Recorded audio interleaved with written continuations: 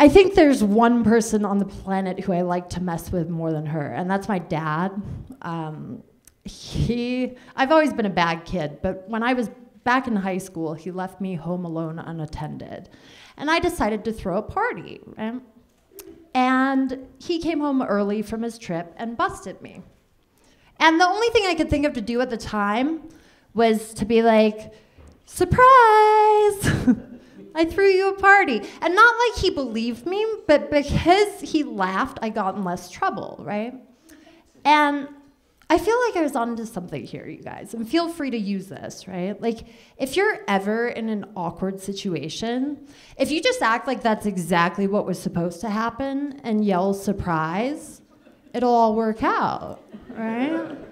Like, let's say your spouse walks in on you cheating. Be like, surprise, we're having a threesome. Get in here. Yeah, you never specified what sex you wanted the third person to be, so this is your fault. or like your parents walk in on you having sex. Just be like, surprise, I'm sexually active. yeah, I planned you a presentation. Meet my boyfriend. What's your name? Or you have a one night stand and then realize you never want to see the person again. And just be like, surprise, that'll be $200.